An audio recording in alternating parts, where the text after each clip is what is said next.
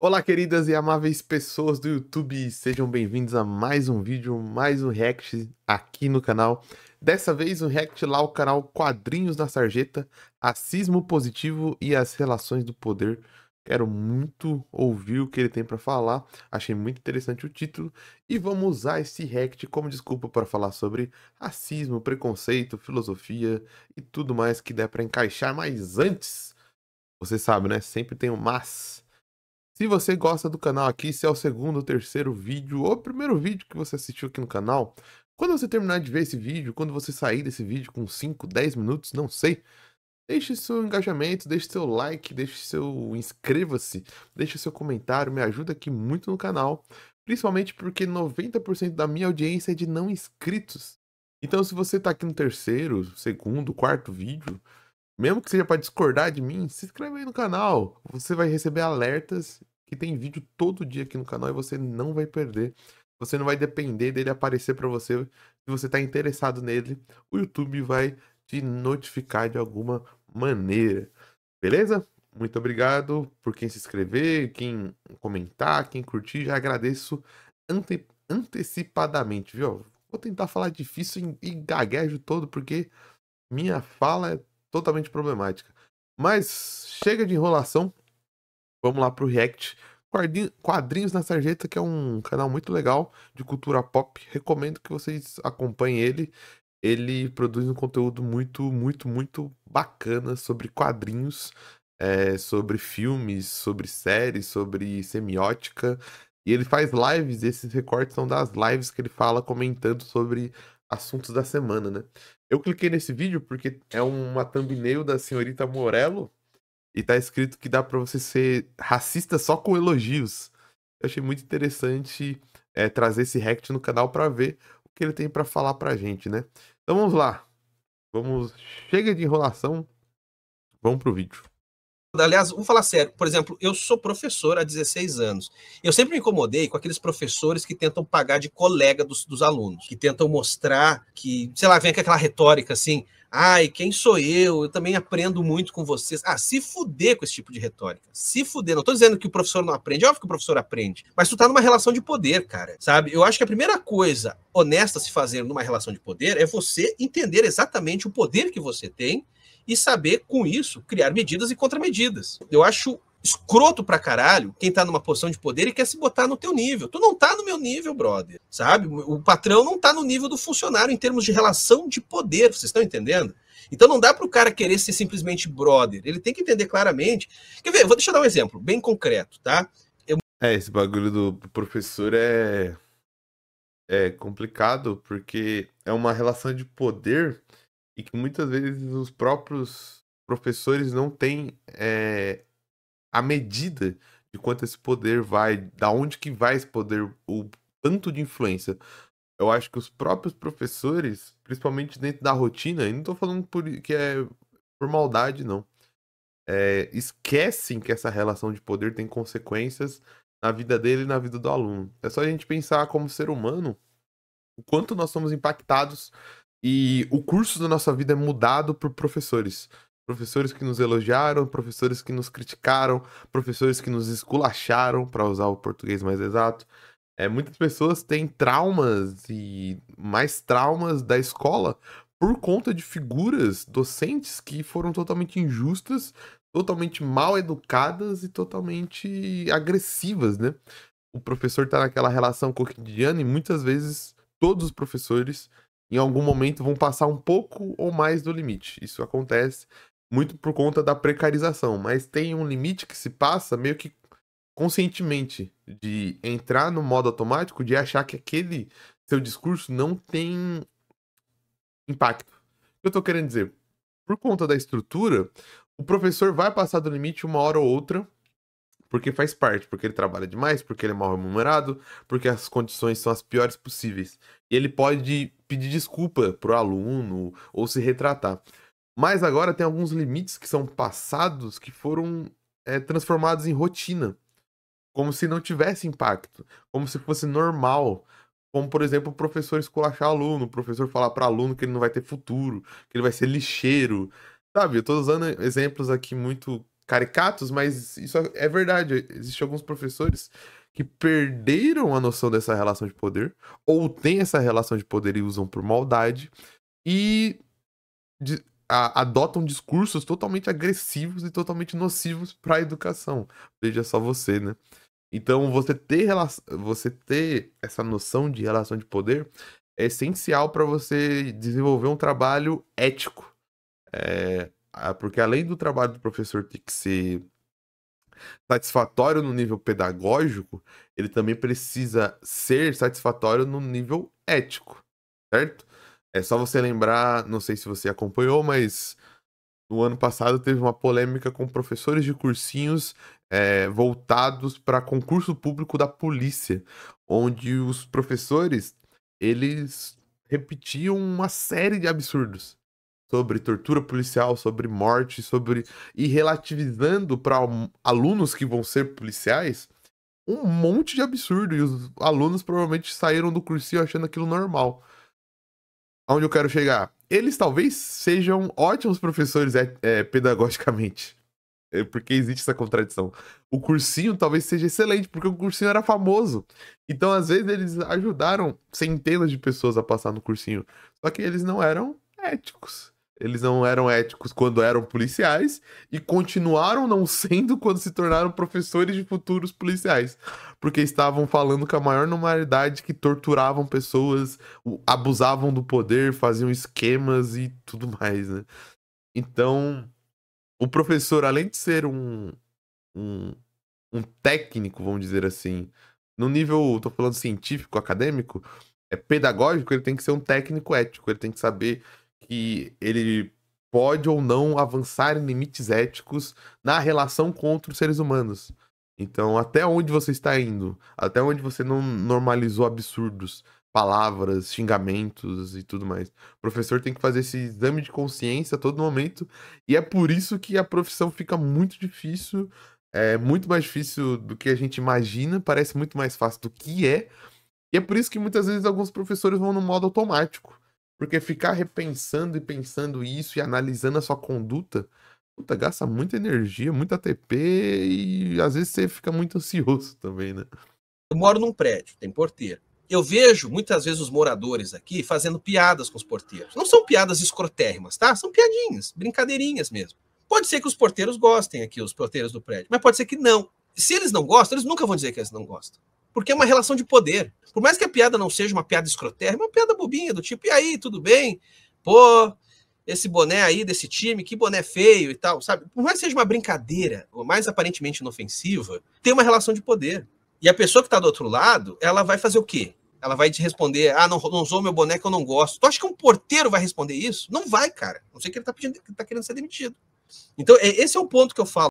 É, porque. Nossa, desculpa, o, Alexandre, parei num frame horrível. Mas, e é pior ainda essa relação porque uma relação de poder envolvido com subsistência, né? Escola, meio que o aluno, ele pode trocar, tá ligado? Ele, se o professor encher o saco dele, ele fala com o pai dele, pai, o professor é, falou merda pra mim, não quero mais ficar nessa escola, vai tentar resolver, o professor não resolve, pô, me muda de escola. Agora o porteiro, ele tem família, ele. A não ser que ele seja um, um, cara que não tá precisando daquela grana, que é muito difícil na situação atual do Brasil, ele não vai querer bancar porque, cara, ele é uma relação de poder com subsistência, né? São os patrões dele indiretamente, né? São as pessoas que podem. Não é que elas tenham o poder de emitir, né? Mas elas podem chegar no síndico a qualquer momento e falar, ó, fulano fez bosta é, relações de poder é um negócio que tem que estar tá muito ciente da coisa. Por isso que esse discurso do colaborador eu acho hipócrita.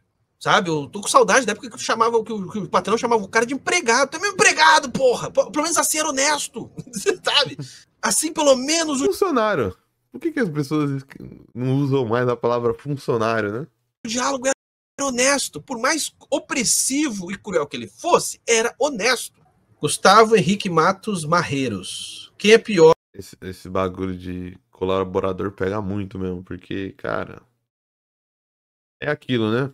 É esse discurso, não sei de onde surgiu, cara. Algum antropólogo, por favor, faça. Sociólogo, faça uma análise Hoje, às vezes já fizeram, eu não sei, mas se alguém souber. Não sei se foi das startups. Startup moderninha, Google que tem esses bagulho, né? De é, brinquedo na, no, no, no trabalho, Casual Friday, festa de Halloween, festa. Putz, esses bagulho do mundo corporativo é complicado, né? E. E não sei, eles tentam dourar a pílula cada vez mais, né?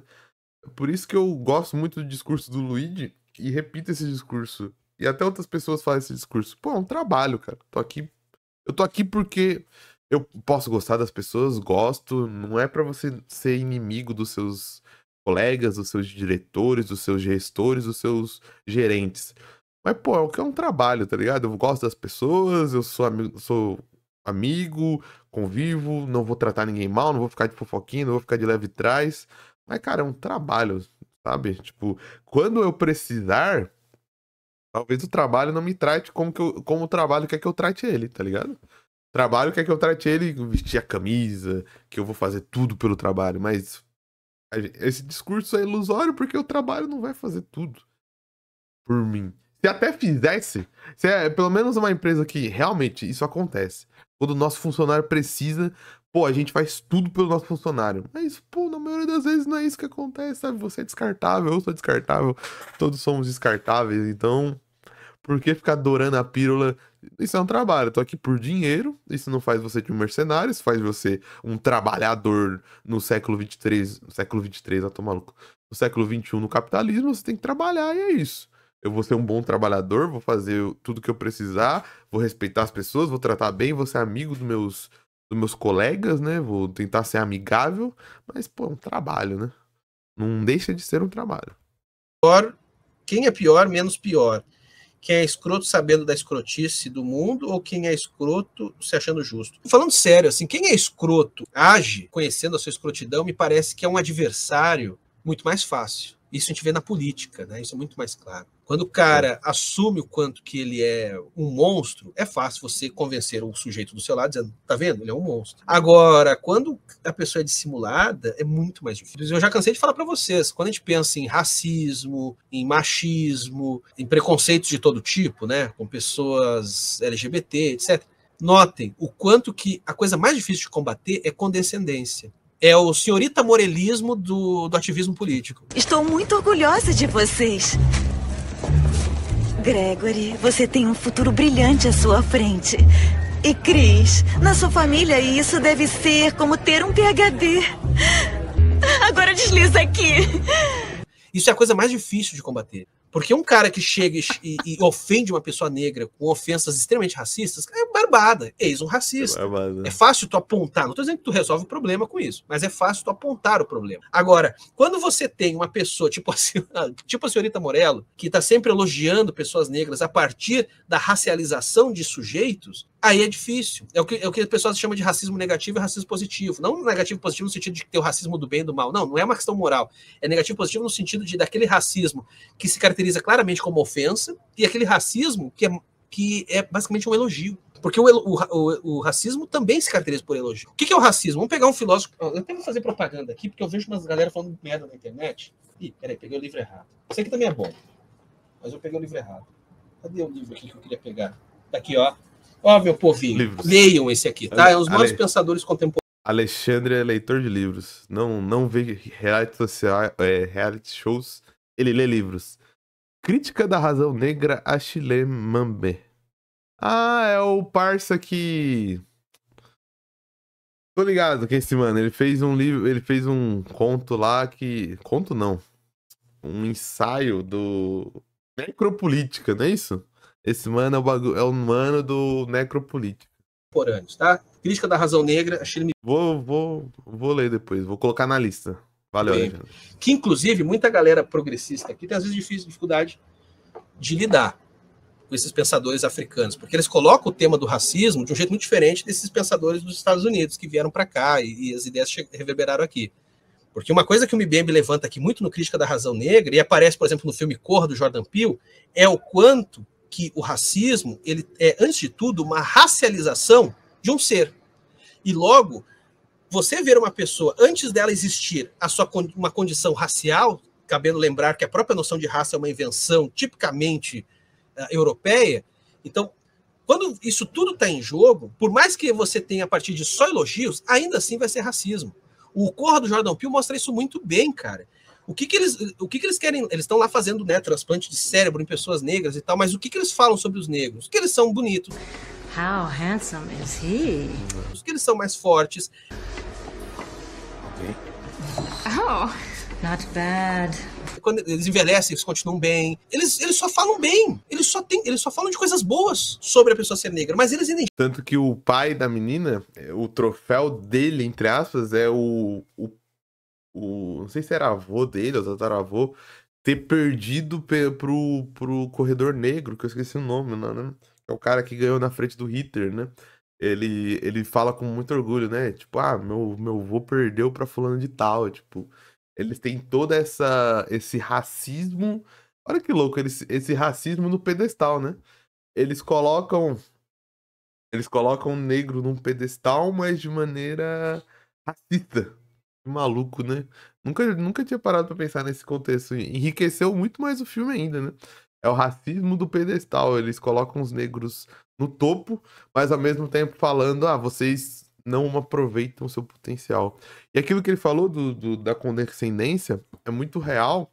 Eu gosto muito de uma, de uma, de um, de uma parte do, da música, ou se você quiser, poema amarelo do Emicida, que é a parte que a Pablo a Pablo Vittar canta, que ela canta assim: Permita que eu fale e não as minhas cicatrizes. Permita que eu fale, não as minhas cicatrizes. Elas são coadjuvantes, não melhor figurantes, que nem devia estar aqui. Permita que eu fale, não as minhas cicatrizes. Tentando roubar nossa voz, sabe o que resta de nada ela, é, ela é um verso muito bonito e que às vezes até passa despercebido porque tá no refrão.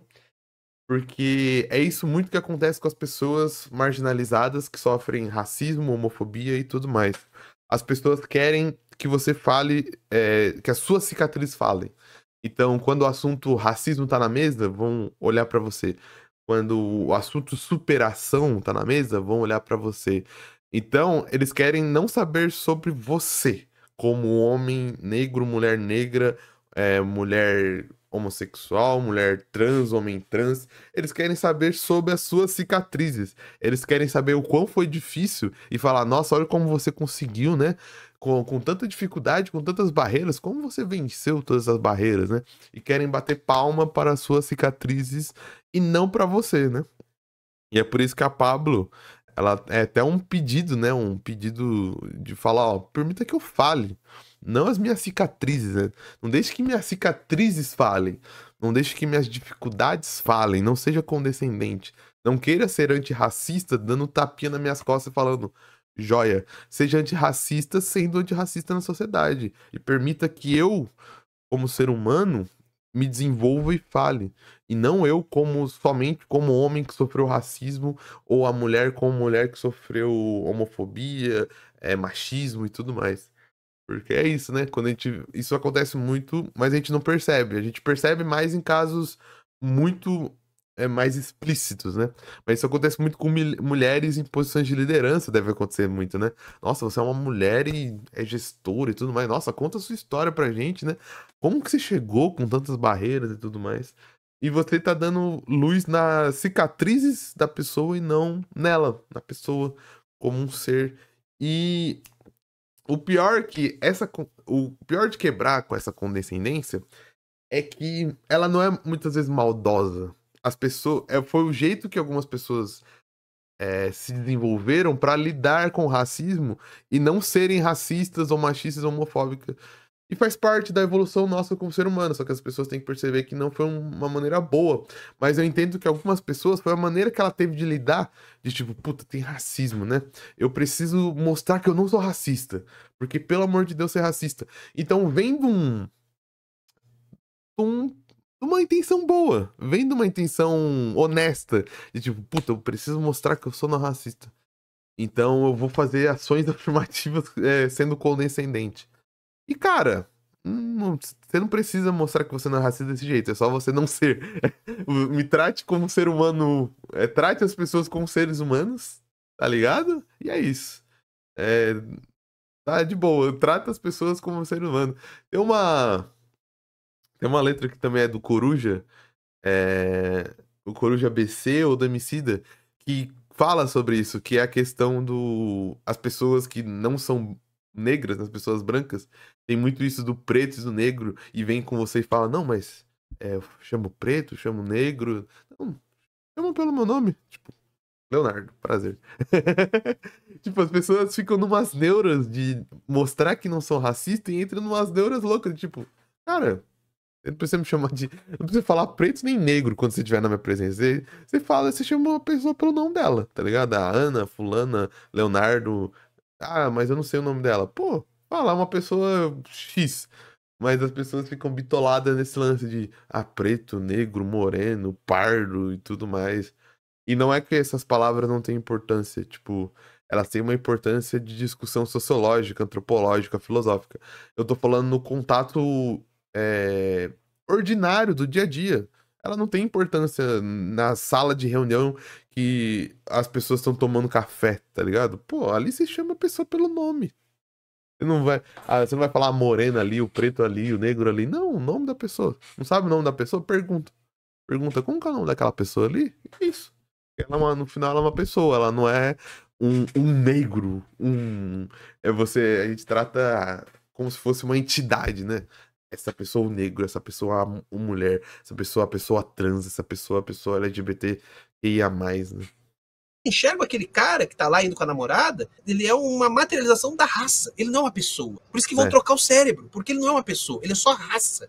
Ali só tem uma coisa que interessa: raça, racialização. Só que através de uma caralhada de elogios. Olha só como o racismo ele é difícil de combater, como ele é difícil de ativar, e aí pode seria todos os outros preconceitos, quando você tem sempre essa postura positiva, de elogiar, de dizer que legal, que massa, é isso mesmo, foda. É muito mais complexo. Ou vai tocar o vídeo assim... automático, parei. Vamos ficar com o Felipe Leão de fundo. E sabe onde acontece muito isso? Que eu lembrei até de um vídeo do Porta dos Fundos, na relação sul-norte, o sul, sudeste, nordeste, de você ver uma pessoa nordestina ou do norte e falar, não, mas sabia que meu, meus avós também são do nordeste? Nossa, que legal, né? Nossa, eu gosto tanto da comida nordestina. Olha, eu sou, olha, sotaque, sotaque nordestino é tão bonito. Você transforma a pessoa num, na materialização da, da regionalidade, né? Não, tipo, essa pessoa é o nordestino. Ela não é uma pessoa. E as pessoas, de novo, às vezes não fazem isso por maldade, né? É isso. Tchau, obrigado. Muito obrigado por assistir o vídeo até aqui. Se você gostou, não esquece do like, do comentário, do compartilhamento. Eu vou ficando por aqui e até uma próxima.